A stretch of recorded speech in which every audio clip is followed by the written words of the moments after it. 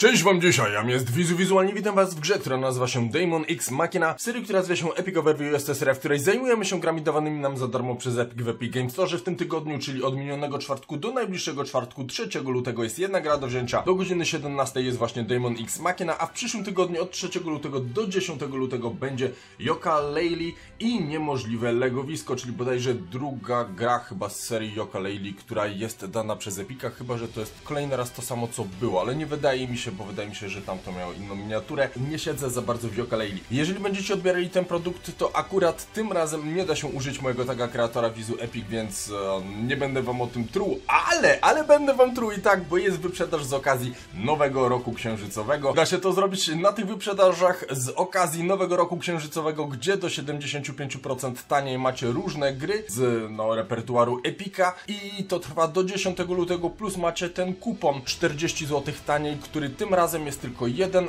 za to, że zapiszecie się na newsletter. Dostajecie kupon 40 zł taniej dla wybranej gry, która kosztuje co najmniej 59,99. Tam oczywiście na wybranej grze możecie użyć mojego taga kreatora Vizu Epic i będzie mi niezmiernie miło, jeżeli to uczynicie, a my przejdźmy teraz do Demon X Machina i zobaczmy co tutaj jest, bo tak wczoraj tylko łyknąłem, liznąłem troszkę. Dziwne jest to, że nie można w tej grze ustawić głośności, nie ma też języka polskiego, więc to akurat jest problematyczne dla tych, którzy mają problem z językiem ale to jest takie jakby połączenie elementów bardzo wysokoprofilowych gier z niskobudżetową gierką, więc jest troszkę dziwnie, jak patrzycie na ten filmik, to są takie... Są elementy, których brakuje jakiejś albo narracji, albo jakiegoś wytłumaczenia na samym starcie i jedziemy bez wytłumaczenia o co chodzi tak za bardzo, więc tutaj jest no chyba rozpadający się księżyc, który za moment łupnie w ziemię, ale brakuje tego, żeby ktoś mówił o co chodzi, że tam nie wiem, w roku tym i tym stało się to i to, i o, wielka tragedia i to odmieniło nasze życia na zawsze, czy coś w tym stylu, nie wiem. A za chwilę potem wbijemy do gry i będzie już ktoś gadający w tle, więc jest tak troszkę dziwnie, bo, bo tutaj ewidentnie brakuje czegoś, to znaczy to jest super do budowania napięcia jeżeli my zaraz wchodzimy do gry i widzimy ten postapokaliptyczny świat, a nie, że za moment wchodzimy do kreatora postaci i próbujemy sobie stworzyć swojego prześmiechowego ludka, więc e, troszkę co innego, nie? O, wejście naszego bohatera.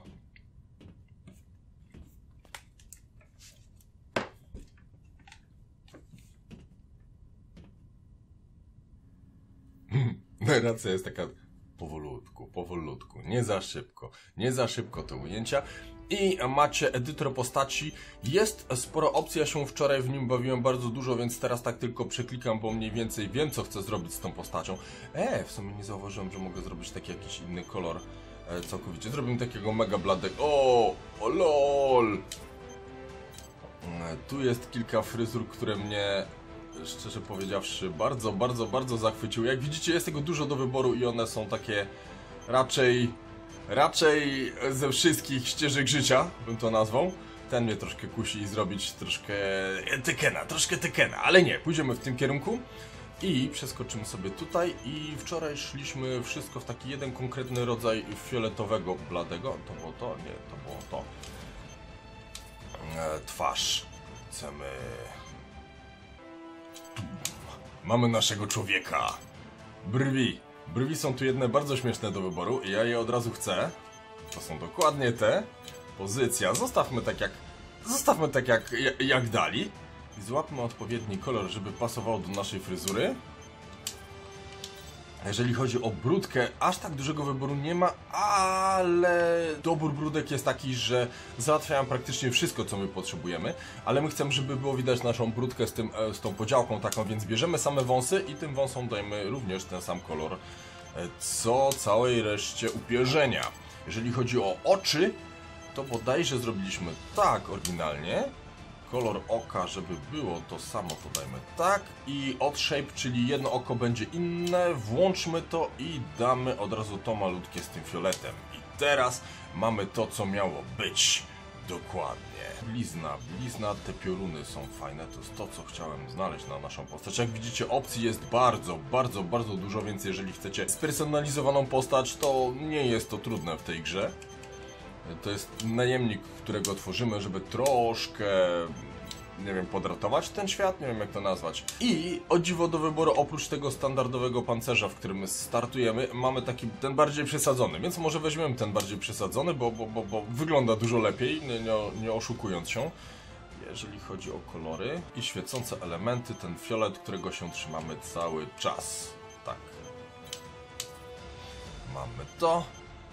Cofnijmy, nadajmy mu imię. Hieronim.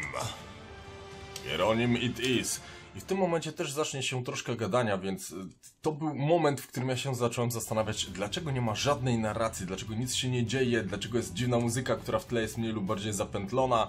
To w ogóle na silniku Unreal'a lata, więc stąd też jest to poczucie, że jest jednak troszkę tej dużej, e, dobrze zrobionej gierki wysokiej jakości, ale brakuje nam tych elementów takich do pieszczenia, więc wygląda na to, że ktoś złapał silnik Unreal'a, zrobił z gotowych przynajmniej częściowo asetów coś, co prezentuje się fajnie na screenshotach, ale brakuje do pieszczenia na elementach, na które już zabrakło hajsu.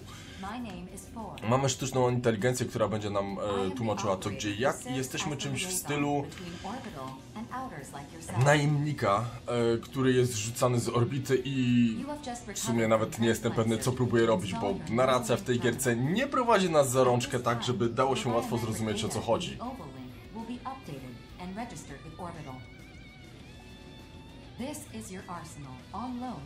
Dostaliśmy swojego mecha, Joelina, więc to jest konkurencja dla Antema, bardzo możliwe, że jest lepsza. Nabijam się, ale no. Może niekoniecznie.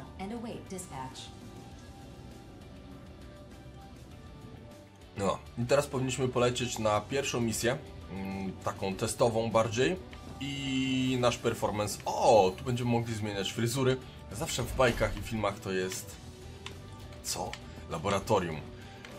To, to, to ten cusiek oznacza, że jest barber i można się przyciąć. W ogóle tu jest ten jedzonki. Troszkę mi się z krasnoludkami skojarzyło z e, Deep Rock Galactic. Tam też były te motywy w bazie. Jeżeli to jest taki troll Lolo Galactic, to będę kisł, bo, bo, bo nie miałem tego skojarzenia wcześniej, a teraz dopiero tak wyszło. Mamy od razu dostęp do multiplayera i do różnych misji i, i do pieska. Może pieska na razie zostawmy, bo nie da się go ruszyć, ale tutaj jak sobie wbijecie jest od razu online, więc jak chcecie lecieć ze znajomymi na dzień dobry da radę. Jest druga opcja eksploracje, czyli pewnie to są te bardziej takie poboczne misje, a tu mamy... Tak, mamy tutaj gościa, nie. O! O, on nie stoi zawsze w tym samym miejscu, to jest ciekawe jest nasz robot, no to przeskoczmy do samej gry. Access. Konsola, misja mamy. No to pierwsza misja, która jest dostępna i dorzucą nam dwójkę specjalistów, którzy już są zaprawieni w bojach, żeby mogli naprawić jak my coś zepsujemy. Rank, e, E, tak, bardzo, bardzo daleko jesteśmy. I wciągaj nas, gro, wciągaj. Initiating Arsenal boot sequence. Data link, normal. Generator pool, normal. Energy limiter, please. W ogóle to jest jak z jakiegoś... At normal z tych, tych japońskich bajek, w których właśnie tam latali w kosmosie, rozbijali się, to jest to, co w, w telewizji puszczali wieczorami. Przynajmniej w Niemczech, jak ja byłem dzieckiem, ale okej. No i Voltron. Voltron oczywiście też bardzo. E, wygląda lepiej niż nowy Voltron, umówmy się. Stary Voltron to był klasyk, nowy Voltron, a. Jest do przegadania i jest ta dwójka gości, którzy będą tam szpanowali, że nie są zawodowcami, z nami lecą, a to jest nasza pierwsza misja, żeby mnie nie spaprał, bo, bo nie, tak, jeżeli nie będę zarabiał hajsu, to nie dadzą mi hajsu na naprawy, będzie słabo. The aptitude test will begin once you cross the blue boundary. Move out and proceed to the designated coordinates as Okay. instructed. Radar Display Legend, Radar Display Legend 2, Basic Arsenal. Lewym się ruszam. O, nie, nie, nie, nie. O, za szybko to zrobili. Przejdźmy. Średnio podoba mi się sterowanie. Uuu, będę się ślizgał. Atakowanie przeciwników. Celuję prawym, RT i LT strzelamy. Dobra. Możemy się zlokować. Jak się możemy zlokować? Okej. At the next phase will begin shortly. Initiating mock battle sequence. Po, po, powiedzmy sobie szczerze, chcecie grać na klawiaturze i myszce. Celowanie na padziku nie jest wcale jakieś wybitnie dobrze zrobione.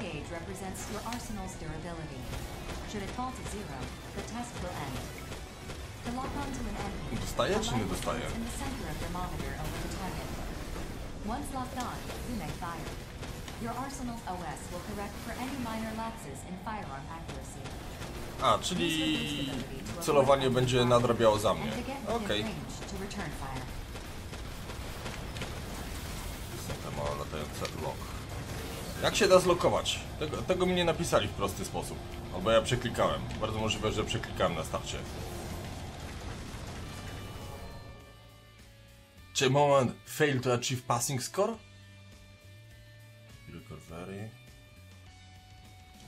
Czyli jak rozwalę to, to się będę regenerował, tak? Dobrze rozumiem? Troszkę dziwna technologia. I kto zrobił graffiti w kształcie grzybów na tym?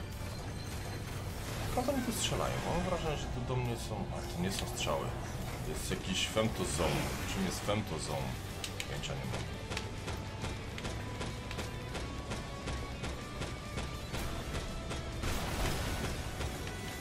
Drugim się rozwalił, czy... O nie!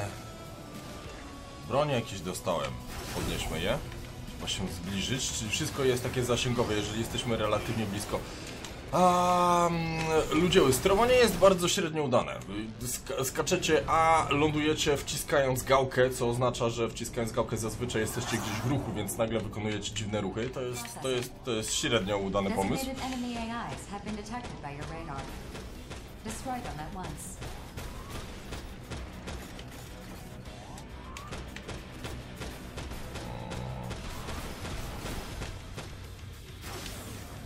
Tak, można to użyć w ten sposób. Samochody stoją, pozostałości przed apokalipsą, rozumiem, rozumiem, rozumiem. Gdzie jest ostatni ten? Nie widzę znaczenia na mapie, gdzie miał być ostatni wróg. O, tam jest, dobra. Strzelał do mnie zanim ten, ale to jest ten mały, który lata między budynkami. Glidery, tak?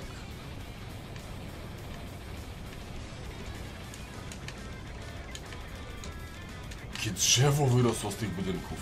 Widzicie, zostawić tę planetę na parę lat i jest nie do poznania. Nie wiadomo co się dzieje. Całkiem. I jedno naciśnięcie w dół e, sprawia, że lądujemy całkiem, a naciskanie A sprawia, że takimi jakby poziomami się podnosimy. Dziwne sterowanie, nie, nie jestem przekonany do tego. Jeszcze ta muzyka nawalająca w tle, totalnie nie pasująca do tego, co się dzieje. Takie...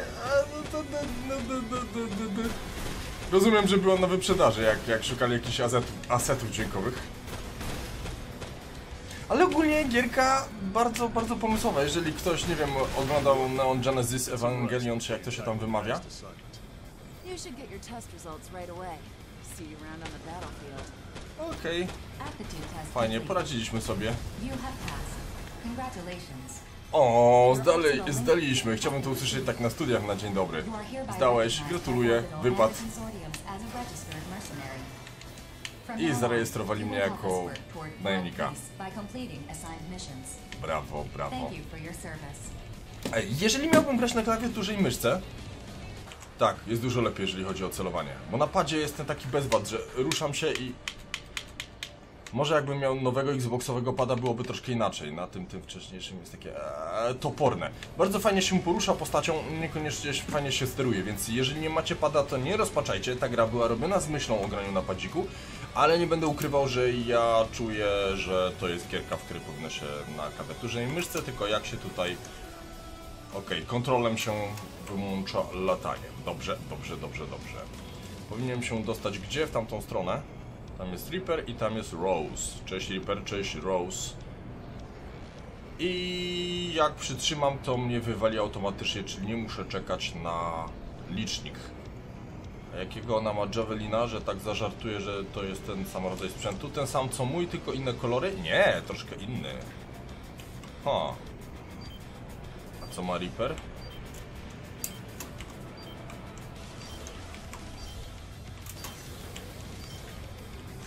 Też troszkę bardziej takiego masywnego ma, zdaje mi się. Ludziska, jeżeli szukacie jakiejś gierki, która pozwoli wam zaspokoić potrzebę przeżycia przygody ala Neon Genesis Evangelion albo jakiś właśnie Voltron. Cała masa tych bajek była. Voltron to jest jedyna, którą pamiętam z nazwy, oczywiście, prócz Transformersów, ale to jest troszkę inny klimat. Zresztą Transformersy istnieją w mediach nawet bardziej niż mniej, ale takich gierek nie ma zbyt wiele. Co jest bardzo dziwne, bo to jest dość naszny temat, przynajmniej u nas nie ma. Wydaje mi się, że w Japonii tego było od groma. Przy czym głównie to było chodzone mord... Nie, nawet nie chodzone mordobicia, mordobicia 1 na 1. Jedno z najlepszych mordobić chodzonych, jakie w ogóle wyszło, to jest na licencji um, Czarodziejek z Księżyca. Żeby było zabawniej. Na, na Europę to w ogóle nie trafiło, nie wiem czy to ma anglojęzyczną wersję, ale to jest jedna z tych rzeczy, co zadziwiające jest, jak ktoś to zobaczy i położy na tym łapki, że to jest nie dość, że to jest dobra gra, to jest świetna gra i to jest chodzone mordobicie, pięknie animowane i w ogóle wow. No ale wracając do Demon X Machina. Jeżeli potrzebujecie do grania jakiejś takiej gierki, gdzie latacie machami się rozwalacie, to w ostatnich latach nie było za wiele. Może poza Battle Mehem, czy Battle Warriorem Battle Mehem, który był robiony przez tych samych ludzi, którzy zrobili wcześniej um, Shadowruny, e, te trzy Tokio, e, ten, ten, ten. Pierwszy był Returns, drugi był ze Smokiem, tylko nie pamiętam jak się nazywał. A trzeci był właśnie Tokio. Bo hmm, zaspany jeszcze jestem. Próbowałem to wczoraj wieczorem nagrywać, ale jednak mi się nie udało, problemy z dyskiem, więc siadłem do tego dzisiaj, stąd też wiedziałem częściowo przynajmniej co się będzie działo. Jeżeli chodzi o kreator postaci, możecie stworzyć naprawdę jakąś kozacką postać z anime. Podoba mi się w tej gierce właściwie wszystko poza tym, że nie jest na dzień dobry przystępna, brakuje tego takiego pierwszego 15 minut prowadzenia za rączkę człowiek, to jest to, to jest to, to jest to, a nie domyśl się sam, a potem zrzut wszystkich informacji na ekran, a potem znowu domyśl się sam, bo za dużo informacji było na raz, to wolałbym, żeby to robili częściowo, a potem, potem zostawili nas samych, żebyśmy mogli pograć. Ale gierka jest, jeżeli ze znajomymi będę mógł polatać tymi mechami i się porozwalać, to start jest bardzo dobry, bo grało się sympatycznie. Troszkę toporne sterowanie, jeżeli chodzi o pada, więc ja bym to odłożył i przestawił się na klawiaturę i myszkę. I jest to śmiechowa giera do pogrania, nie wiem, po pracy, po szkole, żeby się troszkę odstresować, odprężyć. Ja jestem jak najbardziej na tak. Link macie na dole w przypiętym komentarzu. Jeżeli będziecie łapali podczas tych wyprzedaży cokolwiek dla siebie, będzie mi niezmiernie miło. Jeżeli użyjecie mojego tego kreatora Vizu Epic, widzimy się przy następnej okazji, jak będzie kolejna darmowa gierka, którą będzie najprawdopodobniej Yooka-Laylee i niemożliwe legowisko. Miłego, do następnego i niech darmówki będą z wami. Hej! Jeśli podoba Ci się ta seria, to przy odbiorze bądź zakupie gry nie zapomnij wpisać taga kreatora Vizu Epic. Nie mogę z tego gościa, on wygląda tak cudownie, jeżeli chodzi o wygląd. Czy ja mogę tak e, zbliżyć kamerę na niego? A, o, o, mogę powiedzieć, nice to meet you, well done, let's depart. Okej, powiedziałem, pomimo tego, że mam wybrany głos, to, to moja postać tego nie, nie wypowiedziała. Troszkę, troszkę szkoda. Mogę pogłaskać pieska? Nie mogę. Nie mogę. O nie! Widzę jakieś takie elementy, które widziałem w innych gierkach na silniku Unreal'a. Jest. O!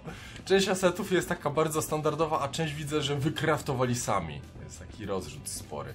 Wydaje mi się, że twórcom tutaj brakuje trochę budżetu, żeby się naprawdę rozkręcić. Żeby ten filmik początkowy, żeby lepszy tutorial zrobić, bo jeżeli powtarzalny gameplay, ten loop gameplayowy jest dobrze zrealizowany, to to jest gierka, w której ludzie, którzy zaczną grać i przejdą przez ten początek, będą bawili się dobrze i zostaną w grze. Więc jeżeli core gry jest fajny, to tutaj brakuje tylko przystępnego wstępu, żeby ludzi wciągnąć takich początkujących, szczególnie, że gierka wyjątkowo jest za friko na Epiku do wzięcia, więc to jest takie, jeżeli ludzie przebrną przez to, a reszta jest faktycznie naprawdę dobra, to, to będą wszyscy zachwyceni. I teraz może, może jakim Epic sypnął hajsem za tego deala, który właśnie teraz widzicie, pamiętajcie odebrać, to wydaje mi się, że może rozbudują ten początek i wtedy, wtedy byłoby osób. Bo tutaj brakuje tylko paru elementów. Narratora, który by powiedział parę słów, zanim ten e, czwórka się odpali, sztuczna inteligencja, no i ten sam początek, żeby był taki bardziej logiczny, a nie na zasadzie o, wi widzieliście jak fragment księżyca walnął w ziemię, no to teraz stwórzcie swojego najemnika, no i teraz wyskoczcie na jakąś testową misję, gdzie nam nawet nie powiedzieli jakie jest zagrożenie, co my tutaj mamy robić, z czym się co je, a tutaj powinno być właśnie takie, że a tam sztuczna inteligencja z kosmosu, czy jakieś inne alieny nas zaatakowały, księżyc się rozpadł, my się teraz zaczynamy bronić, bo musimy odzyskać swoją planetę, jesteś jedną z osób, które postawiły całe swoje życie na szali, żeby zostać najemnikiem i nie wiem, coś, coś ala e, ci ze skrzydełkami na, na, na, na kurteczkach z e, Attack of Titans. Nie oglądałem anime, żeby nie było tam, tylko widziałem jak ludzie kisnęli najpierw, że a, tej strasznie, a potem a, biedni tej tańsi i w ogóle dramat, nie? Więc może to jest nawiązanie do czegoś takiego, a może to jest nawiązanie do jednostek w stylu My Hero Academia, że oni też mają tą gradację, na przykład jak w y, One Punch Manie. Widzę tutaj sporo elementów, które konkretnie do anime, jak dla mnie prywatnie nawiązują i nie wiem dlaczego nie jest to motyw, który na samym początku jest nienależycie wyeksponowany, żeby to miało sens. Nie będę mówił twórcom, jak mają robić gry.